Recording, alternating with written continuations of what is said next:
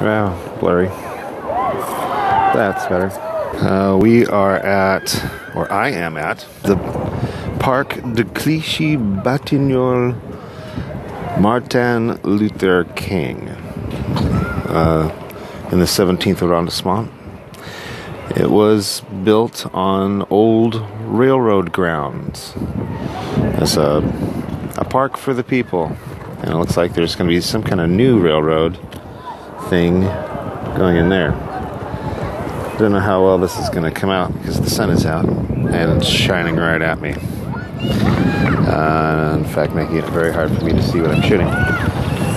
But a very cool little park here. There are sun chairs down there for lounging and soaking up the rays, which are coming down right now. Uh, in the far distance, you can see, hopefully, the Boulevard Périphérique, the peripheral boulevard, or the highway that runs around the ring road that goes around Paris.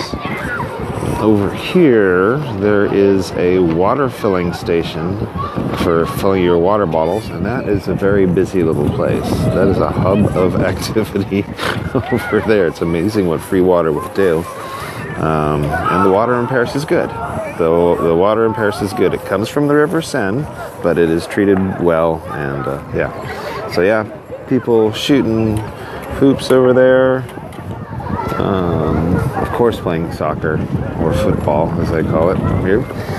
Um, and then kids running around in the construction materials where they're not supposed to be. But oh yes, bioswale, uh, little wetlands over here, and a lot of construction going on over here. Um, a lot of construction. I'm not sure what that one is. That's a monster building, whatever the hell that is. That's huge. Um, well, that one's pretty big too. It looks like that's all one building as well. High density residential, I residential, I assume, and then of course right next to the new, you can see the old, and certainly right there. Whoops, there we go. There's an older, older place. High, high density residential here, and there's a lot of high density residential. And so the park goes down this way.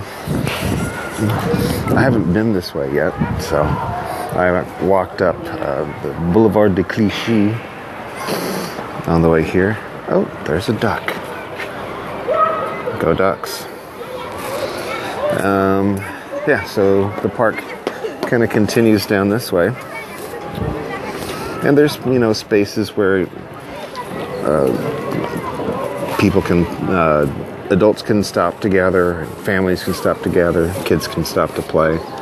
Sunday's a family day uh, in France, and uh, it's about 6.30, quarter to 7, and so yeah, about another hour or so, and a lot of uh, folks will be having dinner, including myself. And I'm looking forward to that.